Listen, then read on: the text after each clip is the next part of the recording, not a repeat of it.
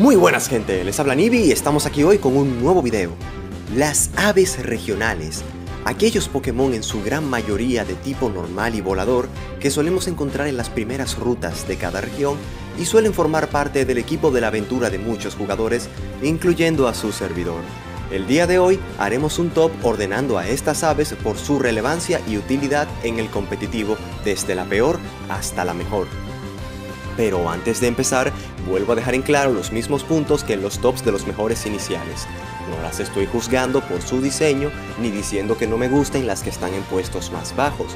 Solamente las juzgo por qué tan buenas son y han sido a lo largo de las generaciones en lo que a competitivo se refiere. Sin más dilación, comencemos.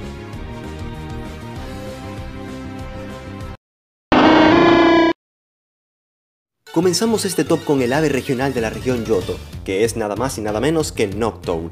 Tristemente, Noctowl es un Pokémon simplemente malo por donde se le vea. Su mejor estadística son sus puntos de salud, pero solamente son de 100. Sumado a eso, tiene una buena defensa especial de 96 y un ataque especial decente de 86, pero sufre mucho por su baja velocidad de 60 y sufre aún más por su baja defensa física de 50. Sus habilidades en general son bastante malas también. Tiene vista lince que evita que le bajen la precisión, insomnio que evita ser dormido y cronomente que suele duplicar el daño de movimientos poco efectivos, pero tampoco es la gran cosa. Sin embargo, el mayor problema de este Pokémon es su mood pool tan limitado. No aprende casi nada bueno. Lo más destacado es despejar, respiro, tóxico y poco más, la verdad. Además de que estos son movimientos que pueden aprender otros tipo volador con mejores estadísticas y dando mejor resultado. Todo esto ha hecho que Noctowl nunca sea tomado en cuenta al momento de competir. Una lástima, ya que les confieso que de todas las aves regionales, esta es de lejos mi favorita. Supongo que es porque me gustan mucho los búhos y lechuzas, pero bueno, puesto número 7 para Noctowl.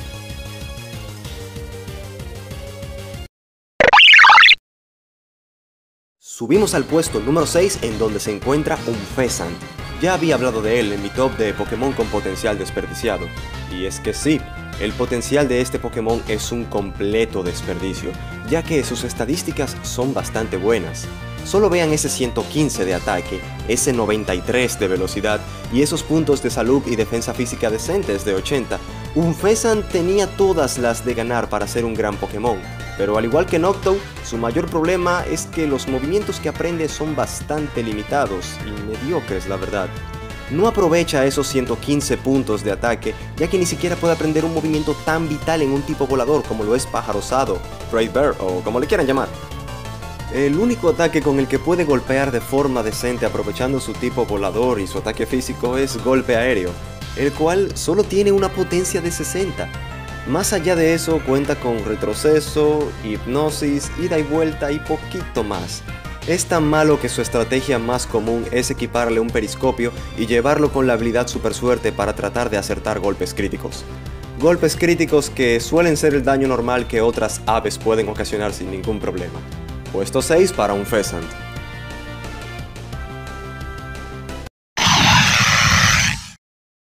En el puesto número 5 tenemos al ave regional de la región Alola, Toucanon. Toucanon destaca por tener un gran ataque físico de 120, pero el resto de sus estadísticas palidecen bastante, ya que solamente se encuentran entre lo apenas aceptable y lo bajo. Sin embargo, la razón por la que está por encima de Noctowl y un Pheasant es que este cuenta con mejores y más variados movimientos a los que sí les puede sacar provecho, como es el caso de Pájaro Osado, o incluso Sofoco y Estruendo. La estrategia más usual de este Pokémon suele ser la misma que con Chinchino, de llevarlo con la habilidad encadenado y aprovecharla para hacer ataques multigolpeo como bala semilla y pedrada, asegurando de esta forma el conectar siempre los 5 golpes. No es un ave muy buena, pero tampoco es tan mala. Puesto número 5 para Toucano.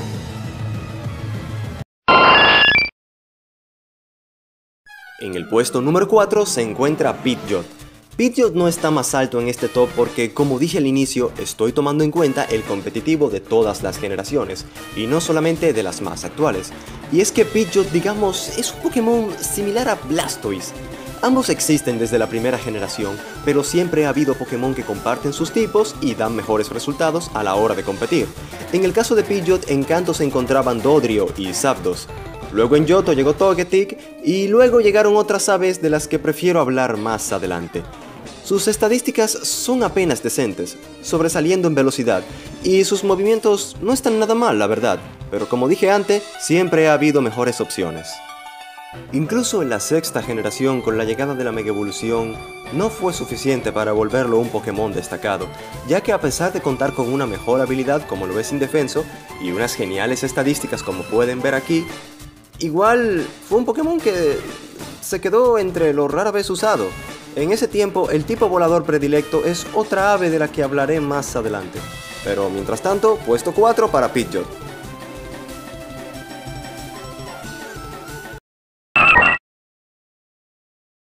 Entrando en las ligas mayores tenemos a Suelo en el puesto número 3 y con la medalla de bronce. Suelo destaca por su gran velocidad, pero sobre todo destaca por su habilidad Agallas, la cual aumenta su ataque en un 50% si este sufre de algún problema de estado como lo es la quemadura, la parálisis o el envenenamiento. Esta habilidad hace que su ataque decente de 80 aumente drásticamente, haciendo que con su gran velocidad pueda hacer movimientos como doble filo, retroceso o su mejor arma, imagen, el cual aumenta su potencia si el usuario sufre de algún problema de estado. Por lo que tenemos un doble aumento, tanto en la estadística de ataque como en el movimiento imagen.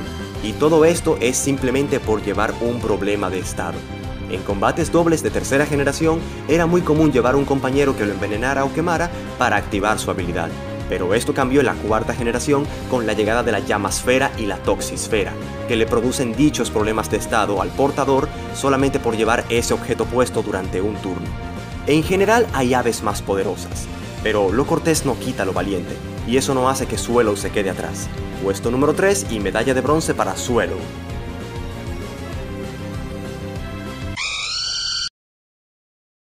El puesto número 2 y la medalla de plata le pertenecen a Talonflame, un Pokémon que casi no necesita presentación. Con unas estadísticas equilibradas donde vemos que predomina la velocidad, Talonflame resalta entre el resto de aves regionales, ya que es la única ave regional que no es de tipo normal y volador, siendo esta en su lugar de tipo fuego y volador, y ser un Pokémon cuya magia reside en su habilidad única, Alas Vendaval. Esta habilidad tiene el efecto de darle prioridad a todos los movimientos de tipo volador. Esta grandiosa habilidad hizo que Talonflame destacara en sexta generación por hacer con prioridad movimientos como viento afín, respiro y claro, el famoso Braid Bird. Tanto así que este último movimiento y Talonflame se volvieron un meme recurrente en la comunidad. Y saliendo un poco del competitivo, este también es un Pokémon muy bueno para la crianza, ya que aprende vuelo, te puede llevar de un lugar a otro y hace que los huevos eclosionen más rápido. Pero volviendo a competitivo, eh, sí, este Pokémon no está en el puesto número 1 solamente por una pequeña razón, y es que en la séptima generación su habilidad a las vendaval fue nerfeada, haciendo que únicamente funcione si tiene todos sus puntos de salud, pero aún así puede llegar a ser un gran Pokémon, uno muy viable, aunque sea en menor medida puesto número 2 y medalla de plata para Talonflame.